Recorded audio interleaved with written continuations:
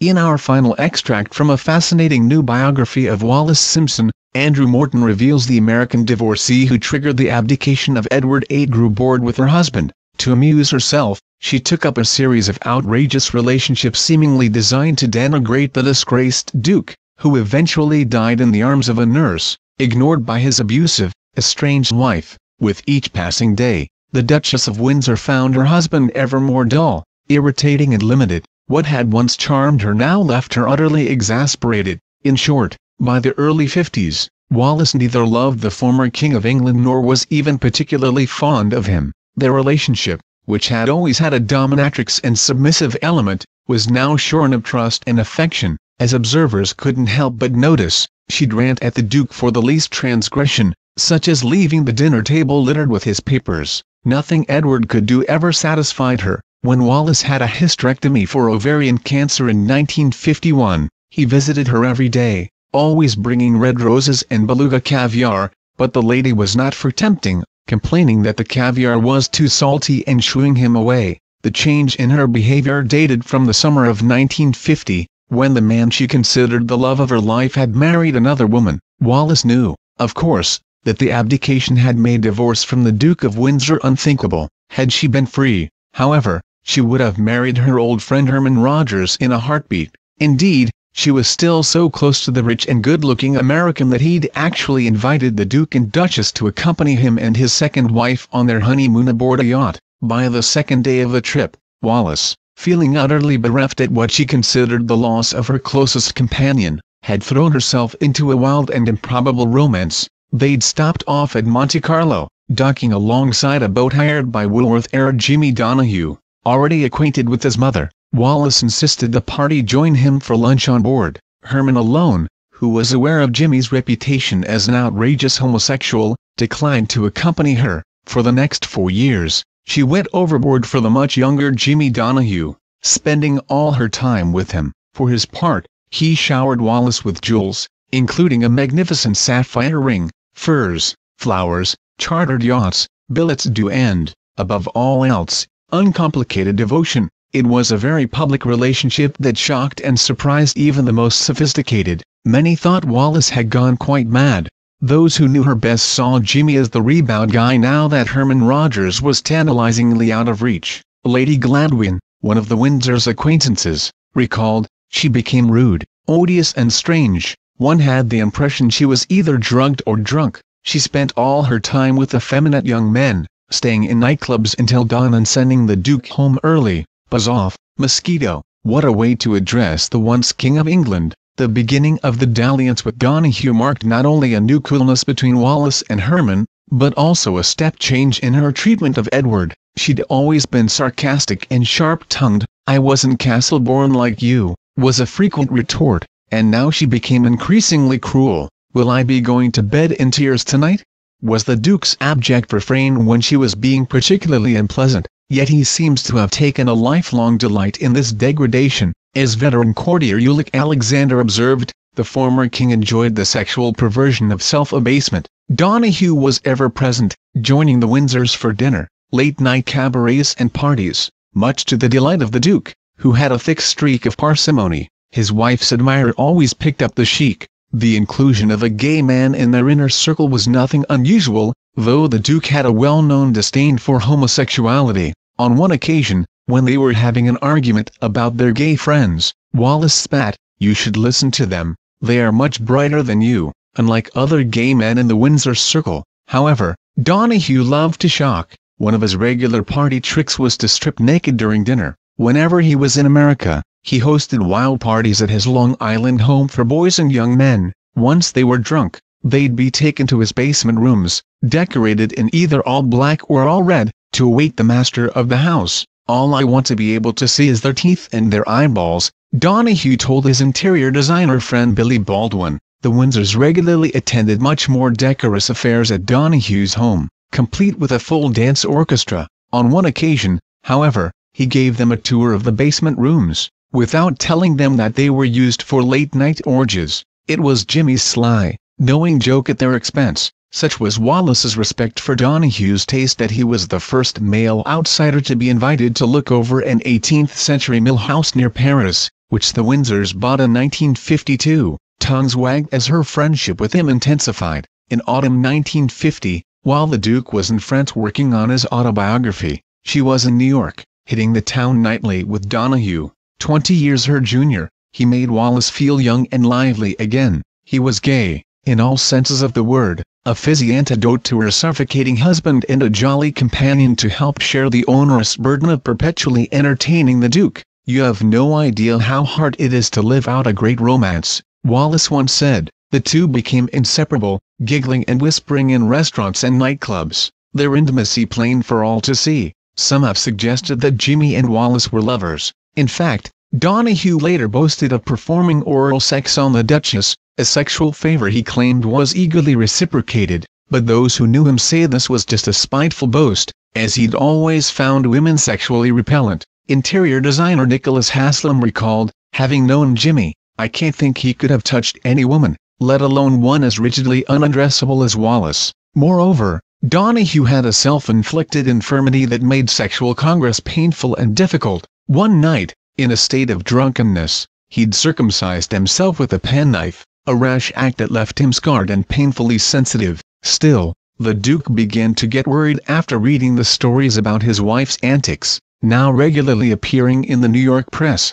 Worse, he was distraught that Wallis was ignoring his increasingly frantic phone calls, so he raced off to join her, solemnly telling his exasperated ghostwriter that he needed to be in America as the Soviet Union seemed likely to launch an attack on Europe. Just before he arrived, the New York Daily Mirror printed rumors that the Duke and Duchess of Windsor are PHFFT, a report the Duke was able to scotch by embracing his wife several times during a well-publicized dockside reunion. It was a brief respite. Jimmy and Wallis resumed their whispering and giggling, passing notes to one another at dinner if they happened to be separated.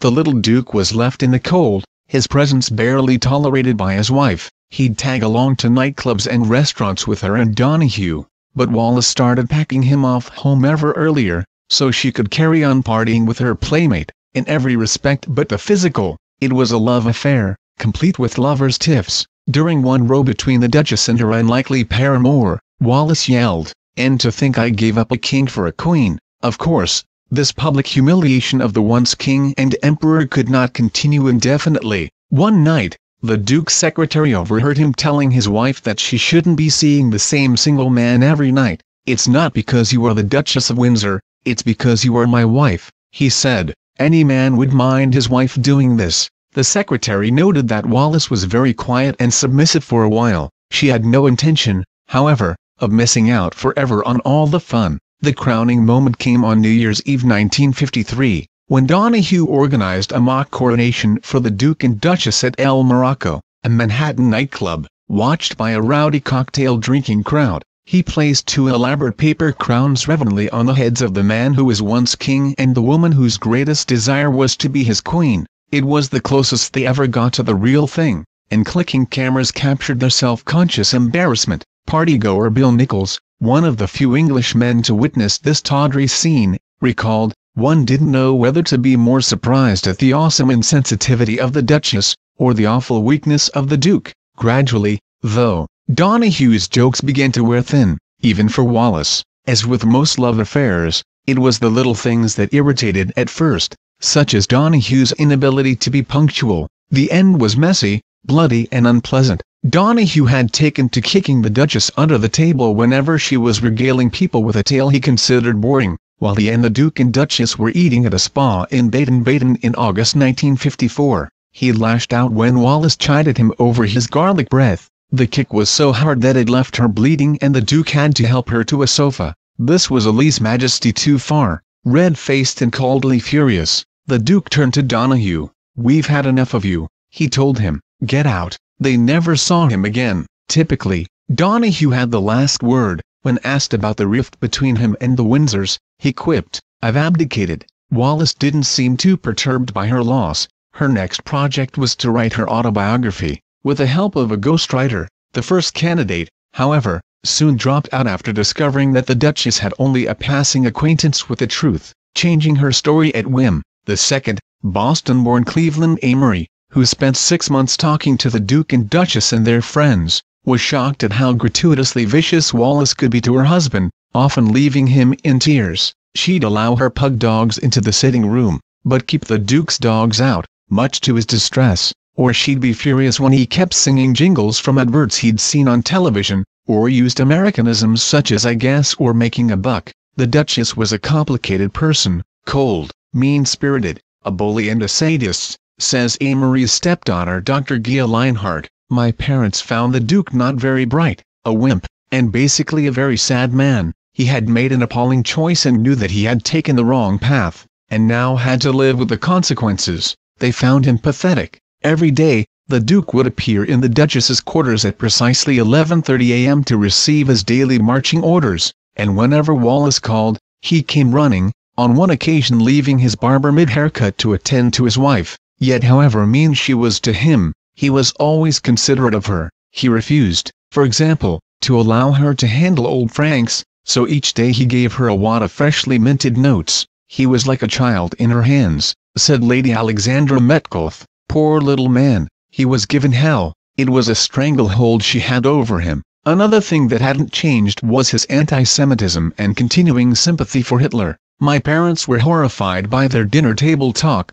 where they made it perfectly clear that the world would have been a better place if Jews were exterminated, recalled Dr. Leinhardt. At one dinner party, the Duke told an English friend, I have never thought Hitler was such a bad chap. At another party, he took hold of the hands of a lady guest, intertwining his fingers in hers to illustrate his view that the Jews had their tentacles around German society. All Hitler tried to do was free the tentacles, he told her as the other guests looked on in horrified silence. Finally, New York advertising executive Milton Biow interjected, Sir, he said, with all due respect, I never believed I would ever hear, at a civilized dinner table, a defense of Adolf Hitler. The Duke had the grace to blush, Amory soon realized that Wallis's first ghostwriter had been right, she lead whenever it suited her. It was only by interviewing her friends that he learned the true version of events, though his handwritten observations have remained unpublished until now. Among those he interviewed were Wallis's lost love Herman Rogers and his second wife Lucy.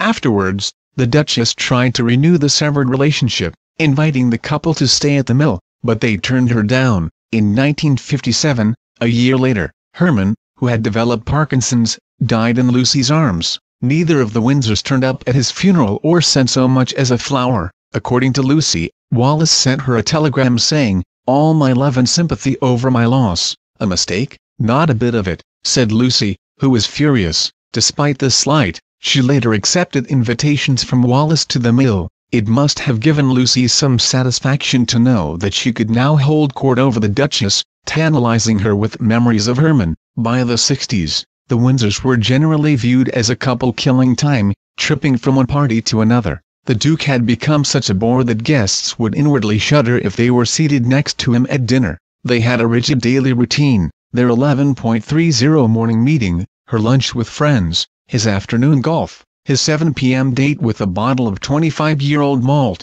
her 7.30 hairdresser appointment, their dinner party at 9. If they went to a restaurant and their conversation faltered, the Duchess insisted that they recite the alphabet to one another so that other diners would see their animation. No one really cared about them anymore.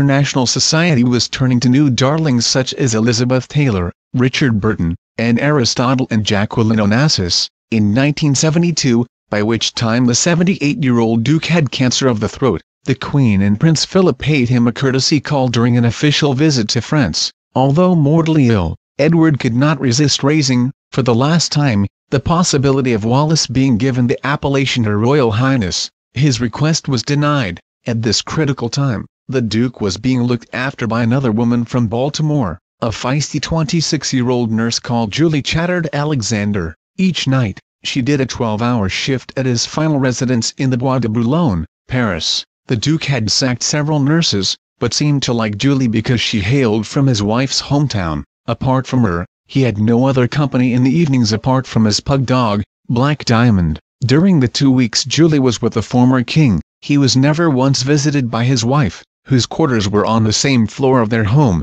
but separated by what Wallis liked to call the boudoir. Instead, she was spending her evenings with an American female guest, Julie recalled, She never came to see him or kiss him good night or see how he was, not once, poor fellow, he would call her name over and over, Wallis, Wallis, Wallis, Wallis, or darling, darling, darling, it was pitiful and pathetic, just so sad, like a lamb calling for its mother. When his breathing changed one night, Julie cradled him soothingly in her arms. At 2.20 a.m. on Sunday, May 28, 1972, the once king and emperor died in the arms of a woman from Baltimore, right city, wrong woman, recalled Julie. So ended the royal romance of the century. After a doctor had been summoned to pronounce the Duke dead, the Duchess was woken. She sat with him, holding his hand and whispering sweet nothings. There were no tears or cries of anguish. In the months after Edward was buried in the grounds of Windsor Castle, Wallis started becoming forgetful. After that, her descent into dementia was rapid. For years, the Duchess lingered on and on, becoming progressively more and more physically and mentally debilitated. Her home became something of a living tomb, her circle shrinking to an ever-changing parade of hired nurses. After she died on April 24, 1986, aged 89, the royal family allowed her to rest next to her late husband in the Windsor grounds. At her funeral service, held at St. George's Chapel, Windsor Castle, and attended by the royal family, the Duke would have been pleased to see that her coffin was carried by eight soldiers from one of his former regiments, the Welsh Guards. There was, however, a bitter irony in her send-off. In death, Wallis found herself lying next to a man she barely tolerated, in the private cemetery of a family she loathed covered by the earth of a country she hated. Thank you for watching.